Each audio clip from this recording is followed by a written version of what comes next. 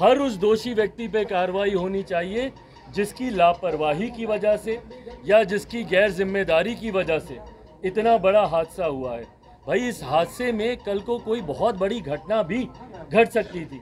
पर अगर कोई ऐसी घटना नहीं घटी, पर उसके बावजूद जो नुकसान हुआ है, और बार बार मैं छवि की बात करता हूँ, बिहार इन्हीं कारणों की वजह से देश में, विदेश में गलत कारणों से सुर्खियाँ बनता। कभी हम लोग का पुल हवा से गिर जाता है। कभी निर्माण होता हुआ पुल का एक बड़ा हिस्सा पानी में ढह जाता है। कभी यहाँ पे बाँध, चूहे कुतर जाते हैं। यही कारण है कि बिहार और बिहारियों को इतनी हीन भावना से दूसरे प्रदेशों में देखा जाता है। इस छवि को बर्बाद बनाने में और बिहारियों की छवि को बर्बाद करने की एक बहुत बड़ी ज़िम्मेदारी लगभग पिछले दो दशक से रहे हमारे मुख्यमंत्री जी की है ना। उन्हीं के कार्यकाल में ये हो रहा है। आज हम लोग मुजफ्फरपुर गए।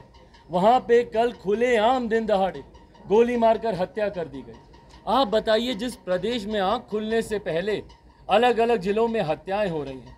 सुर्खियाँ हमारा प्रदेश सिर्फ़ हत्या को लेकर, अपहरण को लेकर, डकैती को लेकर, भ्रष्टाचार को लेकर, पुल गिरने को लेकर, बाँध टूटने को लेकर।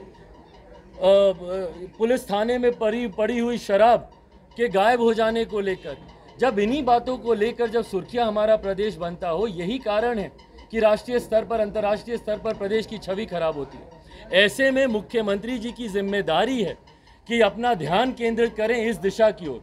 पर मुख्यमंत्री के पास इतनी फुर्सत नहीं है भैया कि बिहार का एक बार भ्रमण कर लें। आखिरी तस्वीर मुझे दिखाइए। उड़ीसा में एक हादसा हुआ, कम से कम इस बात का संतोष तो है लोगों को कि प्रधानमंत्री सबसे पहले पहुँचे वहाँ पर। रेल मंत्री वहाँ पे दिन रात कैंप करके उन्होंने सत्य जानने का उन्होंने प्रयास किया। मेरे मुख्यमंत्री की एक तस्वीर कोई दिखा दे। जो किसी ऐसे हादसे पर गए हो घटनास्थल पर, या कहीं पे हत्या हुई हो, भले इन्हीं के ही महत्वाकांक्षी परियोजना की की ढिलाई की वजह से शराबबंदी से ही कहीं पे कोई हत्या हुई हो। कोई एक पीड़ित परिवार से मुख्यमंत्री जी ने आज तक जाके मिलना ज़रूरी समझा?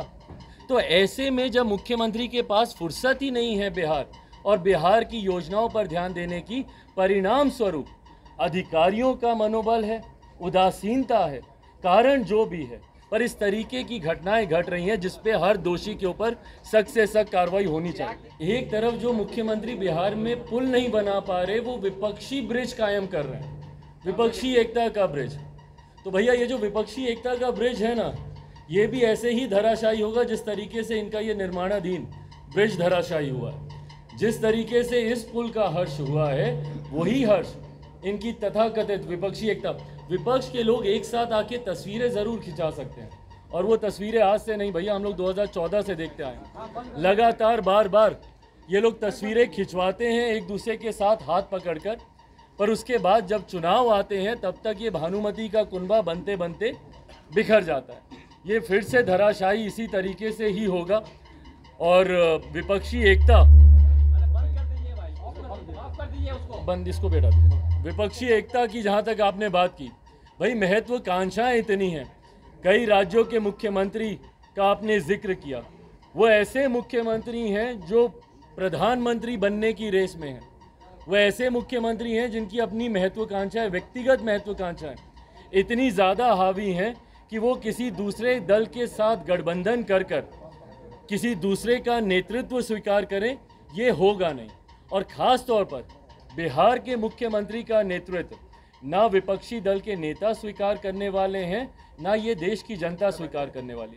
मैं बार बार दोहराता हूँ, जब बिहार की जनता ने ही इनको नकार दिया। जब बिहारियों ने ही इन्हें अपना मुख्यमंत्री नहीं माना तो देश के लोग इनको अपना प्रधानमंत्री मानेंगे, ये हो ही नहीं सकते। लोकसभा के चुनाव अब समीप है, और पूरी तरीके से पार्टी अब चुनावी मोड में उतर गई है। तमाम तैयारी, पुनः आप लोग गठबंधन पे सवाल पूछो, उससे पहले मैं बोल दूँ कि गठबंधन चुनाव के वक्त तय किया जाएगा किसके साथ होना है, नहीं होना है। मैं कितनी सीटों की मांग रखूँ, ये सार्वजनिक करने, अगर पहले मैंने कर दिया तो मैं गठबंधन धर की मर्यादा को मैं तोड़ूँगा। ये ऐसे विषय हैं जो गठबंधन के भीतर चर्चा होनी ज़्यादा ज़रूरी है। बहरहाल मैं कई विभिन्न मीडिया प्लेटफॉर्म्स के माध्यम से, मुझे भी जानकारी प्राप्त होती है कि मुझे कितनी सीटें दी जा रही हैं। तो कौन सा दल कितनी सीटों पर चुनाव लड़ने की बात कर रहा है?